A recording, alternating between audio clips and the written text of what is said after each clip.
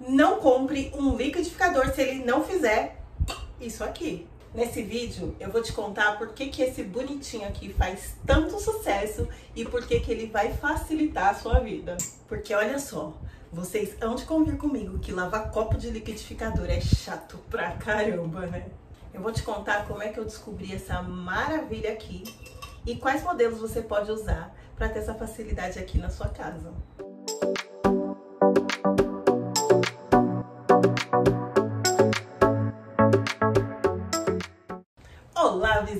Vizinhança! Eu sou a Thaís e você tá em casa, então pode entrar. Bom, eu vou começar esse vídeo falando do outro liquidificador que eu tinha, que era um liquidificador desses mais comuns, mais simplesinhos, com um copo de acrílico, que ele acabou rachando várias vezes. Eu já tava, acho que no terceiro copo, se não me engano. E assim, eu tava meio de saco cheio, porque eles ficam riscados, né? Fica uma, ele não fica uma aparência assim bonita de liquidificador.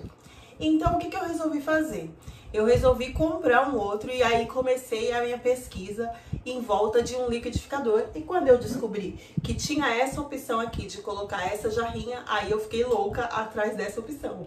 A primeira vez que eu ouvi falar desse encaixe dessa caneca aqui, dessa jarrinha retrô no copo do liquidificador, obviamente é que eu fui tentar no meu liquidificador antigo e aí eu tive a frustração de saber que ele não cabia. Até porque esse bocal aqui, nos outros liquidificadores, eu acho que na grande maioria, ele é bem maior, né? Então acaba que realmente ele não cabe aqui na boca dessa caneca. Eu já queria mesmo um liquidificador com copo de vidro, até porque esses que é de acrílico, é de plástico, com o tempo eles pegam o cheiro, né? Fica com uma aparência esquisita, enfim, não fica bonito, como eu já falei pra vocês. E aí eu fui atrás de procurar um liquidificador com copo de vidro. E, gente, eu fiquei passada. Por quê? Liquidificador com copo de vidro não é um negócio barato.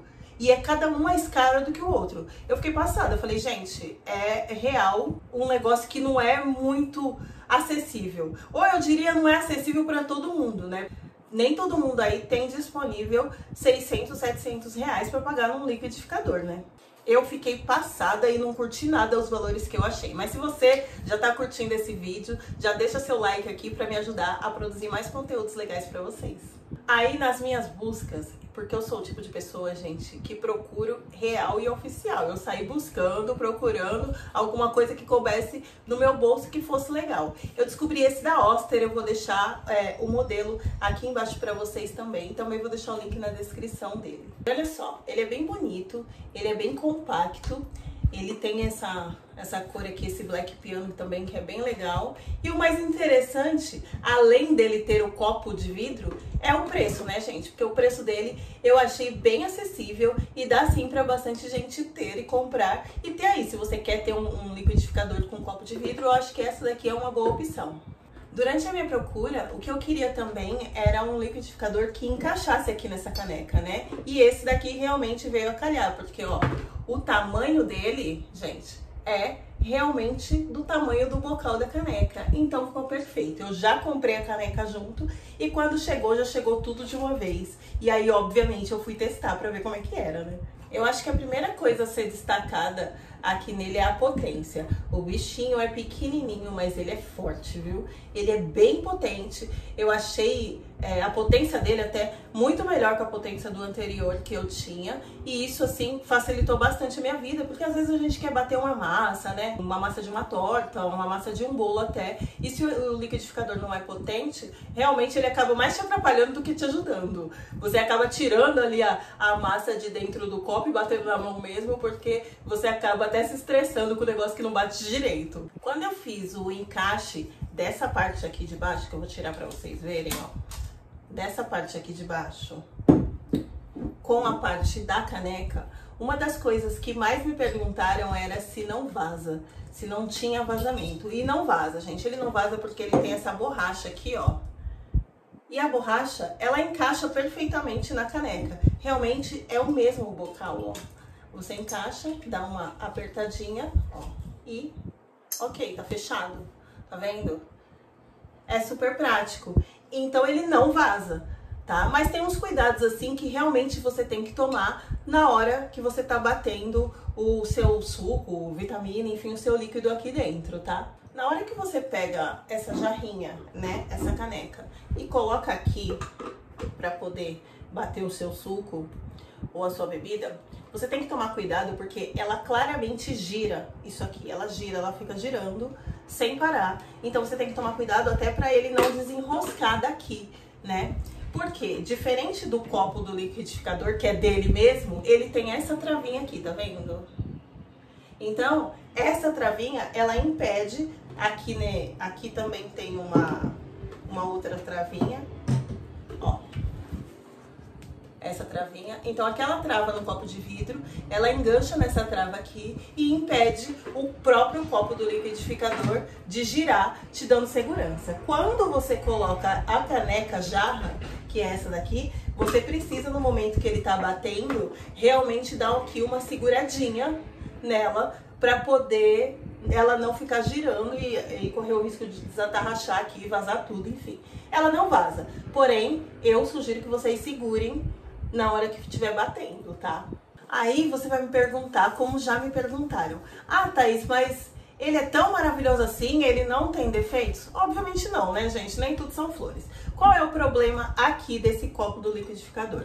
Se na sua casa então, são poucas pessoas, que nem aqui só sou eu e o Anderson. Então, é, essa jarra aqui, esse tamanho de jarra, ele é suficiente pra gente. Então, para eu fazer um suco aqui é tranquilo, para eu bater um bolo, porque eu sempre faço bolo pequenininho ou torta, então é sempre em quantidades pequenas. Então tá ok. Porém, esse copo aqui, ele é bem pequeno. Gente, ele tem aqui, ó, 1 litro 250, tá? Dá pra ver aqui, né, ó.